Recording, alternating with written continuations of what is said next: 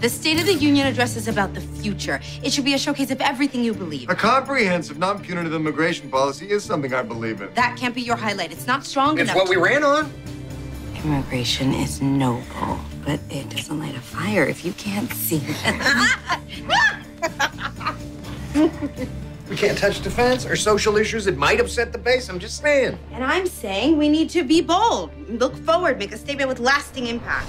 Immigration policy will get us a generation of voters, maybe two. Fitz, stop running for president and start being president. Youth is the future. Youth is the next generation. You get young people involved in volunteering. You get a mistake in the country's future. And a credit towards college tuition, and you announce it at the State of the Union, and any member of Congress who doesn't stand and applaud you loses every parent in their constituency. That is. That's gold.